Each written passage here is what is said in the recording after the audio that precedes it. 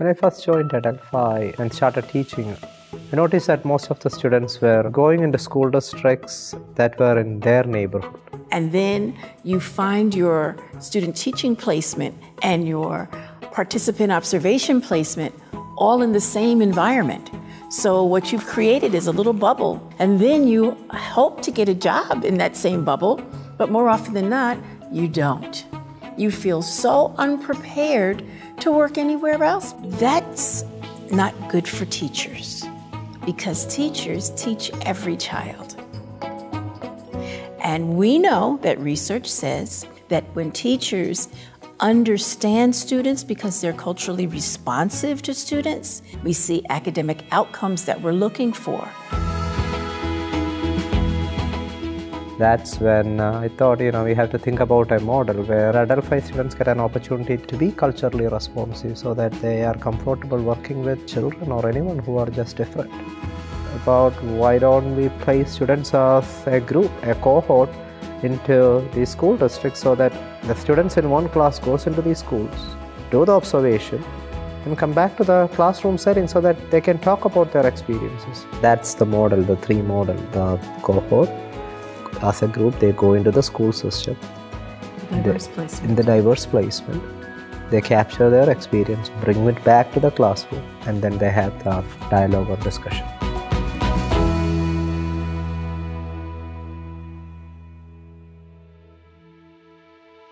When students came to the class, it was a requirement that all the students go as a cohort to one specific placement instead of them making that choice.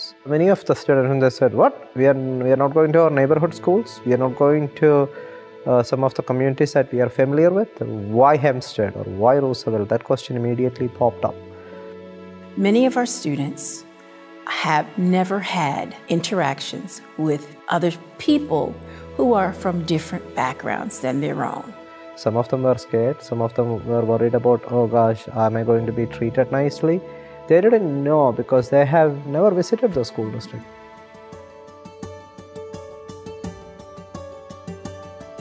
And the beautiful thing about this placement was once they are in the school, then they are like, wow, this is an amazing school. They have smart boards, they have robotics, and the kids are amazing. Then we slowly move back and they are comfortable going back and forth. So that's why this is the title of the book Creating Culturally Competent Teachers in Higher Education as a Consequence of um, Cultural Immersion.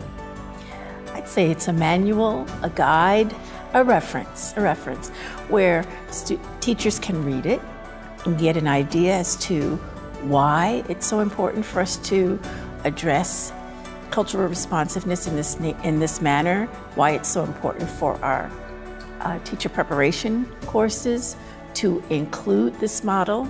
It also gives examples. I think that's part of the richness of this book is that it gives examples and quotes the students' journals and some of their reflections as to how they've changed their perspectives and what they've learned and why the experience has been so invaluable for them.